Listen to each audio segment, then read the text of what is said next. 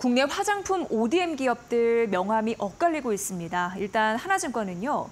그 국내 1위 화장품 ODM 기업이 코스맥스거든요. 이 코스맥스 목표 주가를 기존 22만 원에서 20만 원으로 오히려 내려잡았습니다. 왜냐하면 2분기 중국 법인 영업이익이 1년 새 68% 감소할 것으로 봤거든요. 이 중국 화장품 경기가 침체될 것이다라는 우려 때문입니다. 이 코스맥스는 중국 매출 비중이 작년을 기준으로 해서 한 30%가 넘더라고요.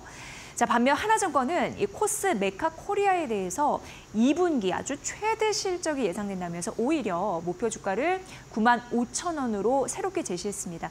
현재 주가와 비교해 봤을 때 한 16% 상승 여력이 있다는 겁니다. 코스메카 코리아는 국내 3위 화장품 ODM 기업입니다.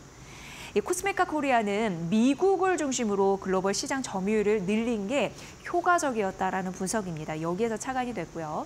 또 우려되는 중국 시장이 있는데 이건 이미 2021년 코스메카 불산 법인과 또 그 다음 2022년 코스메카 소주 법인이 철수했습니다. 이에 따라서 올해 판관비 부담을 줄였다는 평가입니다. 오히려 최근 그 썬 제품에 대한 어, CFDA라고 해서 중국 국가 약품 감독관리국 인증이 있거든요. 이를 통해서 영업력을 키우는 상황입니다. 지금 중국이 경제 성장 둔화로 소비 침체가 지속될 것으로 예상되는데요. 무엇보다도 화장품 ODM 기업 볼 때 중국 의존도를 줄이는 그런 한국 화장품 기업 주목을 좀 하면서 바라보셔야 될 것 같습니다. 이제 비었습니다.